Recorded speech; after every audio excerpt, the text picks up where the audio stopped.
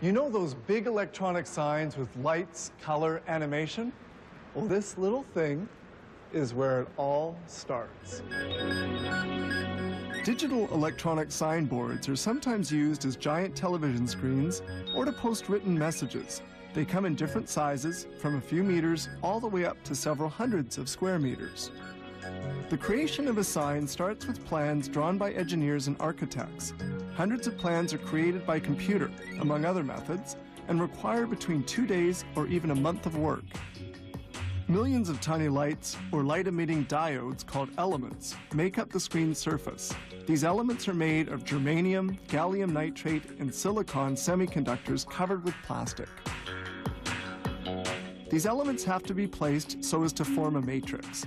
Each of the 20 machines at this plant can install and solder 1,500 elements an hour, Lighting up an element requires only 10 to 20 milliamperes, and they last for about 150,000 hours. All the wires are placed behind the matrix and the different electrical connections. This conceals everything behind the sign and shelters it from the weather. Depending upon the distance from which the sign will be seen, spaces between the elements vary from 2.5 millimeters to several centimeters. A workman now makes the electrical connections. The wires have to be solidly connected to resist shaking caused by movement of the signboard. The matrices must operate together and require controllers which send information from one to the other. Thus, each group controls its own image. Matrix has to be electrically powered and integrated to its own 5-volt element illuminating connector.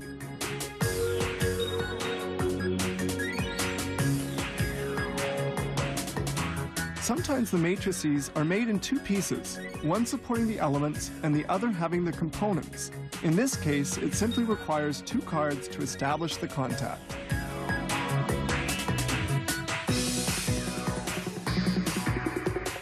Now they connect the information cable, which lights up and extinguishes the elements. Each matrix has two connectors, one which supplies the electric current and the other which carries the sign's information. Here they verify the functioning of each matrix.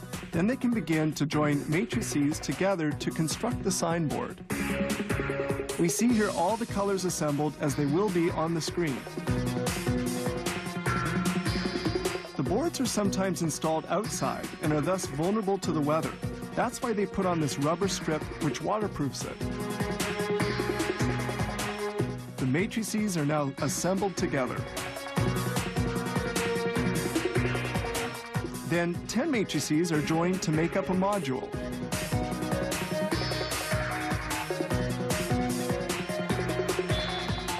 At this stage, they insert the signboard conductor.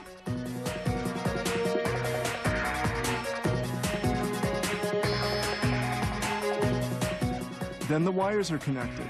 These wires transmit electric current and all the information relating to the sign. The elements require a very low voltage current, about 5 volts. Each module is then provided with its own converter to maintain a steady voltage. Then all the modules are assembled in the signboard support, and the many electrical connections linking the different modules are made.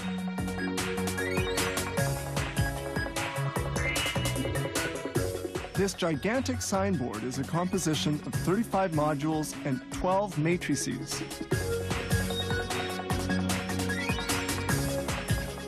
The signboard is almost finished. They now check the color, the luminosity, and the resolution of the screen.